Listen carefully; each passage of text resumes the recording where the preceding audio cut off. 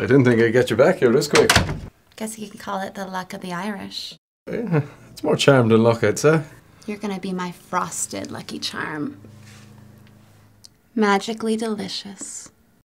Okay. Now let's get into some shamrockings and shenanigans.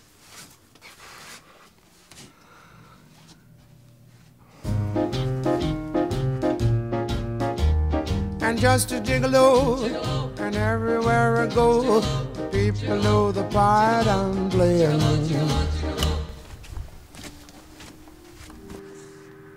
I've always wanted my own little leprechaun.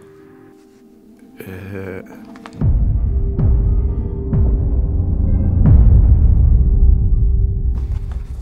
you know, leprechauns don't actually exist, right? That's too bad because I want that gold. Yeah, I suppose they could actually. Top of the morning to ya. Oh yeah, top or bottom, whatever works. Welcome to the House of Pain. Okay, okay, I'm down. Put on your shit, kickers in, kick some shit. All right, Put on your to shit, kickers in, kick some shit. You wanna kick? Put on your shit, kickers in, kick some shit. Take off your pants and dance. yeah, pants off, dance off. No, Irish dance. River dance, river dance, river dance. Yip, yip, yip.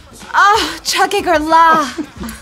That's IRA stuff. Shut up and dance. I'm so sláinte for you, dripping sláinte. Doesn't make sense. Oh, yeah? Well, then fight me like a dirty Irishman, you little Conor McGregor. You know we love to fight. Actually, we don't. I don't know any Irish guy that likes to fight. What are you doing? Oh. Oh, Jesus. Ah, Jesus Christ, woman. Oh, I'm so turned on. What? Suck your thumb, famine boy.